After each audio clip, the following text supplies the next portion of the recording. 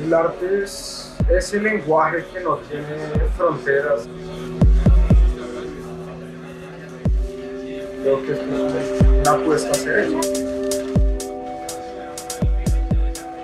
A mostrar que el arte debe tomarse esta sociedad. Y de forma